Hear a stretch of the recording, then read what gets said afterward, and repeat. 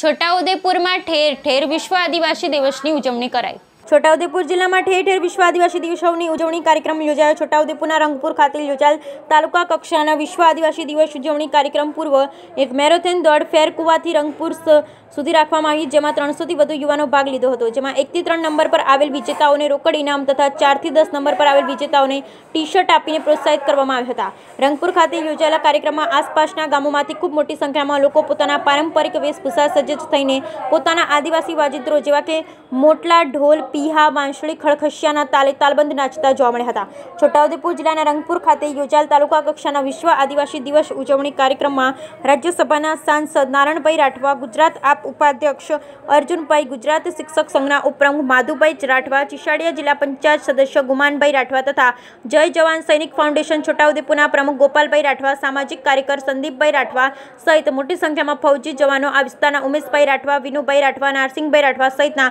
સરપંચો તથા તાલુકા પંચાયતના સદસ્ય જયદીપ રાઠવા સહિત તમામ પટેલ, પૂજારા, ગામ, બળવા તેમજ આ વિસ્તારના વિનોદભાઈ રાઠવા, જીતેન્દ્રભાઈ રાઠવા સહિતના સામાજિક આગેવાનો ઉપસ્થિત રહ્યા હતા. ઉપસ્થિત તમામ વક્તો,